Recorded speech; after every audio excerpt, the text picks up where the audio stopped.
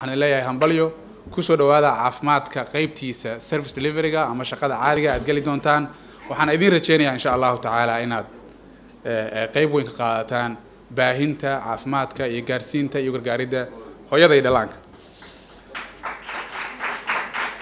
Waxaan u mahad celinayaa hay'adda u n f p a.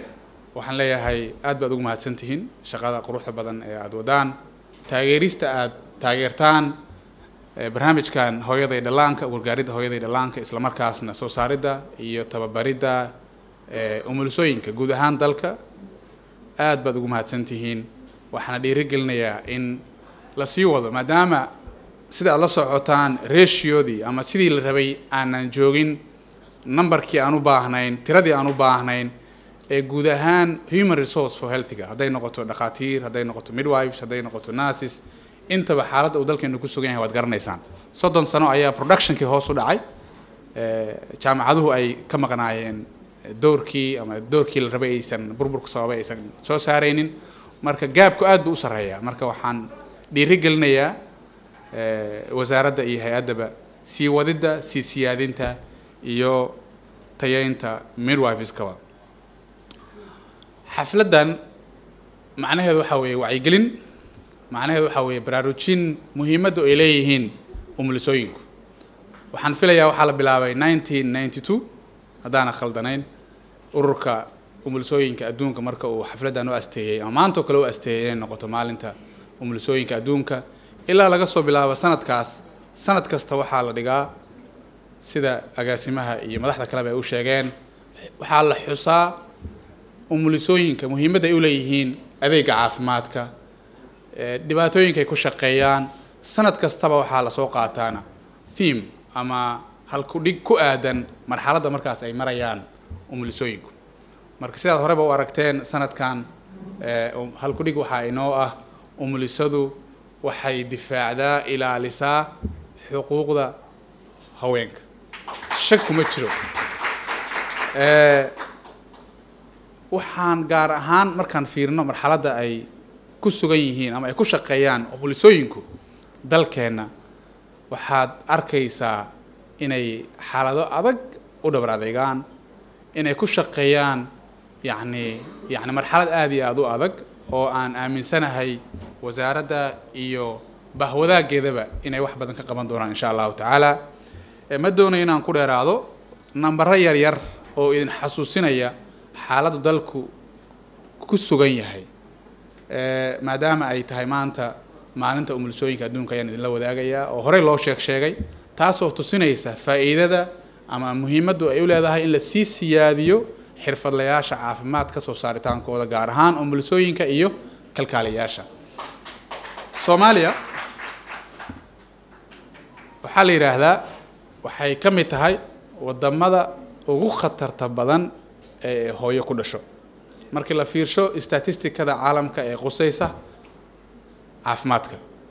Waxaa la yidhaahdaa dhimashada hooyadu waxay maraysaa toddoba boqol soddon iyo labo boqolkii kun ee hooyo oo dhalaba. Waxaa nahay waddanka saddexaad ee adduunka ugu hooseeya. Taas waxay ku tusinaysaa in weli dadaal badan loo baahan yahay. Doctor naciimo shaqada ay ay hogaaminayso wasaaradda shaqada ay hogaaminayso wixii la qabtay wax weyn bay ahaayeen laakiin weli waxaan leenahay dadaal badan ayaa laynooga sii wada baahan yahay dhammaanteen. In kasta oo numberku yaraaday haddana meeshii la rabay ma u dhowin mana joogno. Sidoo kale ilmaha shanta sano ka yar waddankeenna waxaa lagu tilmaamaa inuu yahay kunkii qof kunkii ilmood ee noo dhashaba oo shan sano ka yarba boqol iyo soddon iyo toddoba qof ayaan gaarin maalinta shanaad ayaduna waa number iyo aad number aad iyo aad u sarreeya oo u baahan. Ina dhiirigelinaya oo u baahan in waxqabadkeenna kor loo qaado isla markaasna aan gacmaha isqabsanno sidii loo yareyn lahaa nambarada noocaas oo kale ah. Xirfadlayaasha aan hadda meesha u fadhino soo saaritaankooda ama graduationkooda ama isla markaasna siyaadintooda waddankeenna waxaa la yidhaahdaa boqolkiiba soddon iyo saddex yacni percent ayuu marayaa. Yacni yacni hooyada inay hesho xirfad la dhaliya janiskay ku heli karto waa boqolkiiba soddon iyo saddex aad ba u yaryahay soo ma? Aada iyo aad ba u yaryahay. Waxaa waddankeena lagu qiyaasaa inuu ku yaalo in ka badan kun afar boqol iyo afartan ama ilaa in u dhow kun afar boqol oo facilities oo isugu jira xarumaha hosbitaalada primary health care centerska m c h-yada iyo b h uska. Marka la fiiriyo m c h-yada maxaa la yidhahdaa serviceka hoose baxsha ilaa iyo kuwa hosbitaalada secondaryga. Ah markaad eegto boqol soddon iyo saddexdaas macnaheedu waxaa weeye in ka yar boqolkiiba soddon xarumaha caafimaadka ku yaalla ayaa heli kara xirfadle umuliso oo tababaran sidii la rabana u tababaratay. Taa macnaheedu waxaa weeye shaqada inoo dhiman weli aada iyo aad ayay u badan tahay. Runtii waxaa weeye wax badan ayaa u baahan in la qabto iyadoo dadaalkuna weliba hadda uu badan yahay sidii hore dhacmo sidoo kale ilmaha laba sano jirka ah ee dhasha ee xarumaha ku dhasha dhimashadiisu intay la eg tahay sidoo kale waxaa lagu qiyaasaa waddankeena laba boqol toddobaatan iyo afar kunkiiba inay ka kunkiiba inay ka dhintaan. Waa siyaado. Waa nambaro markaad aragto ku xasuusinaya dhibka ay marayaan dhallaankeennu iyo hooyo sagaal bilood uur soo lahayd oo ilmahay ay sagaalkii bilood soo waday yacni uu ka dhimanayo markay dhasho. Waa dhibaato aad iyo aad u culus. Mararka qaarkood waxyaabaha yacni siyaadinaya mental healthgu dalka inuu siyaadana qayb ka ah.